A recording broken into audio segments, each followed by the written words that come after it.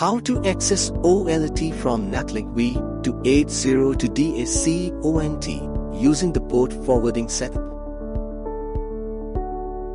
First open your web browser. Then enter your IP address on the URL 192.168.1.1. A dialog box will appear.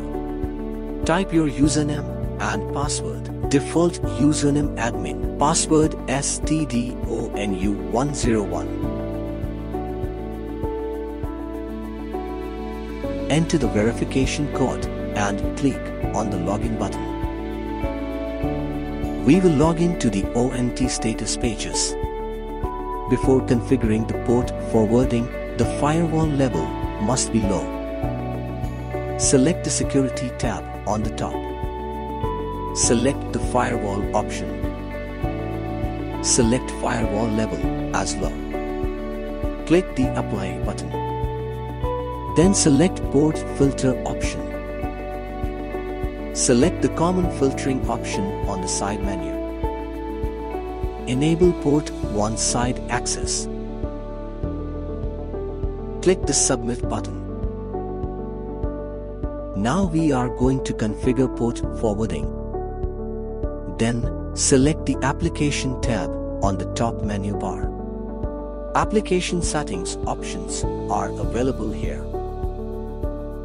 You can select the advanced NAT option. Click the virtual server option. Select the add button. Then complete the configuration. Type your service name. Then click the enable checkbox. Enter your start port and end port. Choose protocol TCP UDP. Enter your server IP address that is OLT IP. Enter your internal local area port number. Click the save button. Then select the DMZ option on the left side.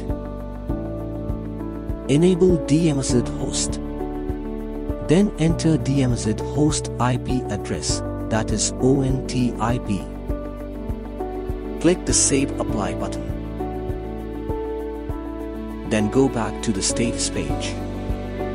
Select WAN info option. Copy your WAN IP address. Then open your web browser.